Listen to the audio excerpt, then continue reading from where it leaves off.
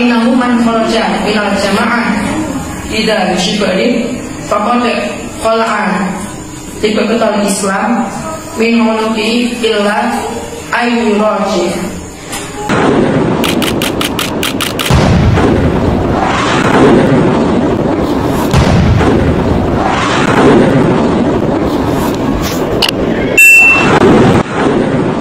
Indonesia ini yang jamaah ya ya kita kita ini. Yang sudah didirikan sejak dirikan sejak tahun 41 sampai sekarang ini. Ya, jamaah lainnya itu ya belum. Sahabat Herilanos TV itulah penegasan dari imam besar LDII Lembaga Dakwah Islam Indonesia. Imam besar yang kini dipegang oleh Abdul Aziz Sultan Aulia atau putra dari pendiri Islam Jamaah Nur Hasan Al Lubis atau Madigol menegaskan bahwa jamaahnya lah yang paling benar, kelompoknya lah yang paling Islam karena telah beramir, berbaiat dan bertoat. Beramir, berbaiat dan bertoat adalah syarat sahnya keislaman seseorang dan pemahaman itulah yang disampaikan kepada para pengikut-pengikutnya sehingga keluar dari jamaahnya, keluar dari kelompoknya dianggap sebagai murtad.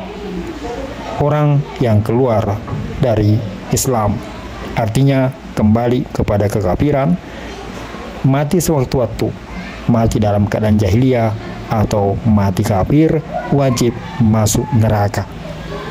فإنه من خرج إلى الجماعة إذا شبه فقد خلع طبقة الإسلام من عنقه إلا أن يراجع Dan siapa yang merusak di keluarga jemaah merusak jemaah tidak mau mengerjakan dua perkara tadi ngaji nggak mau bela sama jemaah toat maka sungguh-sungguh telah lepas tali Islam dari lehernya maksudnya tidak jamaah lagi tidak dikatakan Islam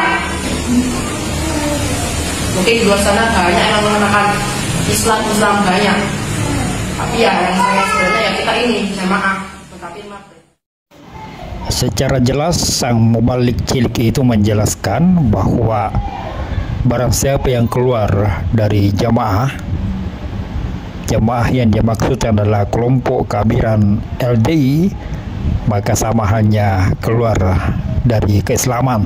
Dan siapa yang merusak di keluarga jemaah merusak jemaah.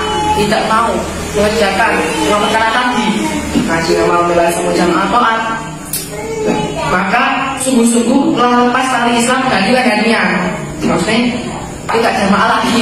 Tidak dikatakan Islam. Dan di akhir penjelasannya dia juga mengatakan bahwa banyak kelompok-kelompok Islam di luar sana tapi kelompoknya lah yang paling benar. Karena telah memenuhi kriteria keislaman yang dibenarkan yakni berjamaah. Dan berjamaah yang dimaksudkan adalah karena memiliki amir yang ditaati dan dibaiati. mungkin di luar sana banyak yang menggunakan Islam Islam banyak. Tapi ya yang saya sebenarnya ya kita ini jamaah. Tetapi Tentu saja ini bukan karena ketidaksengajaan, tetapi memang seperti itulah pemahaman yang menjadi keyakinan di dalam kalangan keamiran Islam Jamaah LDI bahwa orang-orang yang keluar dari kelompoknya adalah murtad dan orang-orang yang tidak bergabung di dalam kelompok keamiran serta tidak berbeat kepada imamnya belum dinyatakan sebagai Islam. Sudah diketahui oleh umum bahwa begitulah keyakinan yang ada di dalam keamiran Islam Jamaah LDI diperkuat dengan kesaksian para mantan mantan pengikutnya yang telah sadar dan meninggalkan keamiran yang batil itu. Kemudian mereka meyakini bahwa orang Islam di luar LDI adalah kafir dan anggota LDI yang keluar dari LDI itu diberi sanksi. Apa? Yang pertama dikucilkan. Yang kedua dihukumi sebagai orang yang murtad.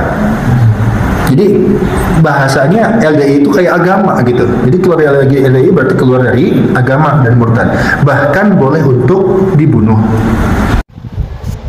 Itulah persaksian dan pernyataan dari ulama-ulama yang ada di luar kalangan LDI bahwa sudah menjadi eh, rahasia umum keamiran LDI memurtadkan orang-orang atau pengikut-pengikutnya yang sudah dinyatakan berbeda pemahaman atau tidak lagi mau mengkafirkan orang-orang Islam di luar keamirannya.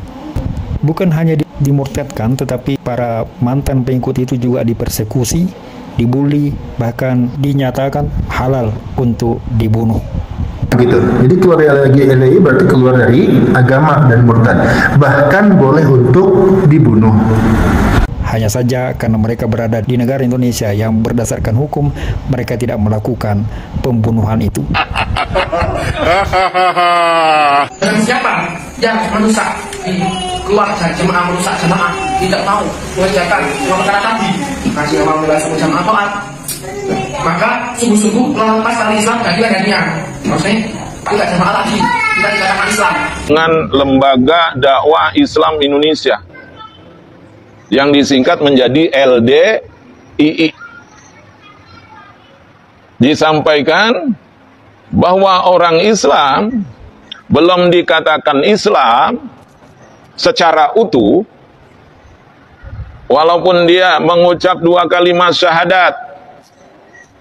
Setelah dia mengucap dua kalimat syahadat lalu dia jalankan dia dirikan sholat setelah dia dirikan sholat dia puasa di bulan Ramadan dia keluarkan zakat dan dia laksanakan haji jika mampu tetapi belum dibaiat menurut Amir, pimpinan tertinggi dalam LDII itu.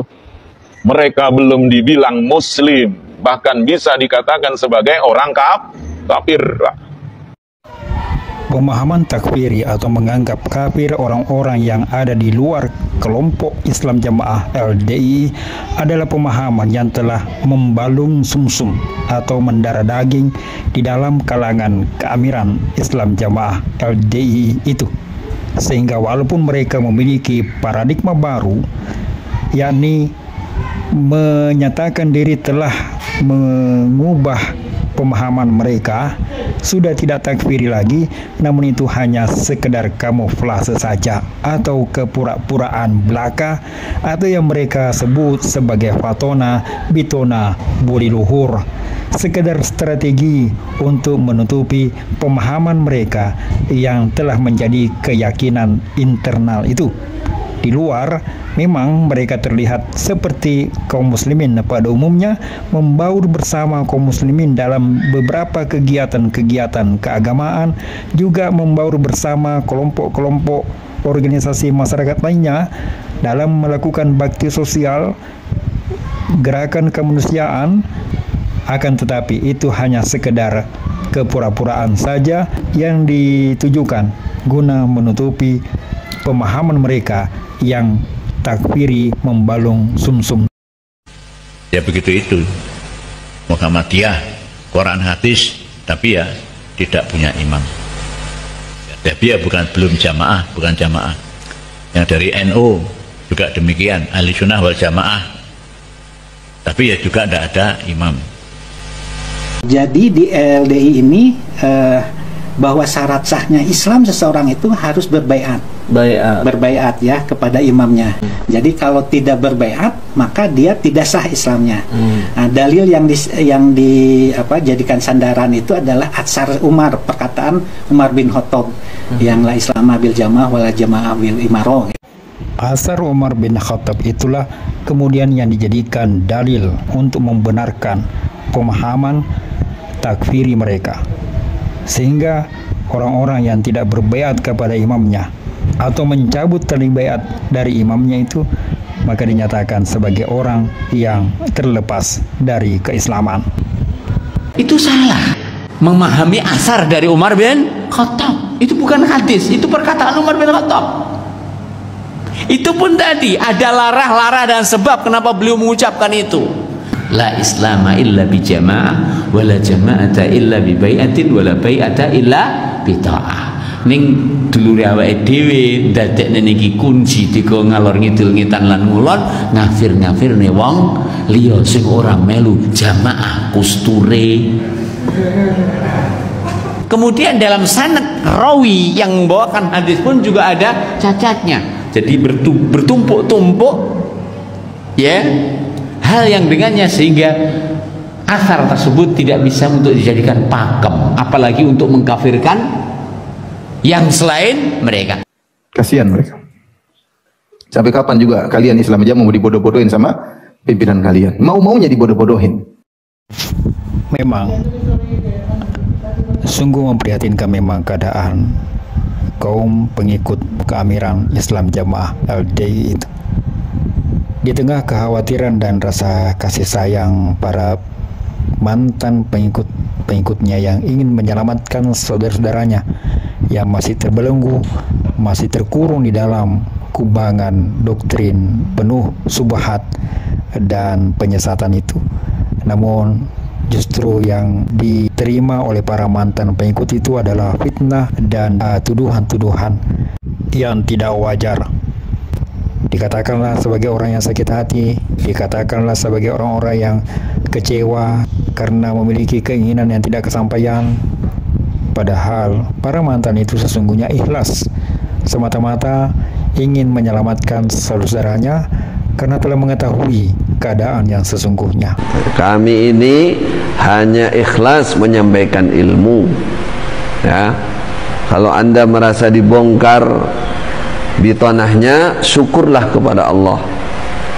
Karena banyak orang tahu, orang mengerti kesesatan Anda dan penyimpangan Anda. Harapannya nanti ada banyak orang yang mengingat mengingatkan Anda, meluruskan Anda sehingga anda menjadi orang yang lurus orang yang benar. Apakah itu tidak diuntungkan? Diuntungkan. Maka bersyukurlah. Itulah kenyataan yang terjadi di antara pengikut-pengikut keamiran Islam Jamaah LDI dengan para mantan-mantan pengikutnya. Satu sisi mantan pengikut ingin menyelamatkan saudaranya, namun di sisi lain mereka justru dituding dengan tuduhan yang sangat tidak wajar. Namun sebagai kewajiban di antara sesama muslim yakni saling ingat mengingatkan saling nasihat menasihati saling menyelamatkan tentu saja walaupun para mantan itu dituding macam-macam namun mereka tetap tulus dan ikhlas berusaha menyelamatkan saudara-saudaranya dari upaya-upaya yang membinasakan. Kami sayang kepada antum semua, kami sangat cinta kepada antum semua. Kami dan teman-teman yang hijrah bukan karena sakit hati, bukan karena tidak kebagian jabatan, tidak kebagian dunia, tidak kebagian kendaraan dan sebagainya. Kami dengan kelegaan hati, dengan kerelaan hati, dengan sesadar-sadarnya meninggalkan akidah yang menyimpang itu karena kami yakin itu adalah tidak benar dan kami menghimbau saudara-saudara sekalian untuk meninggalkan akidah ini karena kami cinta, kami sayang kepada antum semua. Semoga saja Allah masih memberikan taufik dan hidayahnya kepada mereka agar sama-sama selamat dan bisa kembali ke pangkuan Islam yang rahmatan lil alamin. Sadarlah itu wahai saudaraku. Kami alhamdulillah tidak pernah melaknati sampan semua enggak pernah. Ya. Tidak ada kehendak kami jelek ingin merusak Anda enggak ada. Alhamdulillah. Kami ikhlas. Ingin sampan semua berubah menjadi seorang muslim yang mengerti akidah yang lurus. Dan doa kami selalu untuk sampan semua. Semoga Allah memberikan hidayah semoga Allah menyadarkan sampan semua semoga Allah membuka hati sama semua. Itu selalu kami mendoakan enggak pernah kami ya Allah laknatilah. Enggak ada enggak pernah. Alhamdulillah. Kenapa air susu anda balas dengan air tuba? Kenapa kebaikan niat baik kami anda balas dengan keburukan? Itu enggak bisa enggak boleh. Seorang muslim seperti itu. Waliyadu bila berdoa kepada Allah jangan jadi orang muslim seperti itu. Taib. Jazakumullah khair. Barakallahu fikum. Assalamualaikum warahmatullahi wabarakatuh Sekian, celotehan.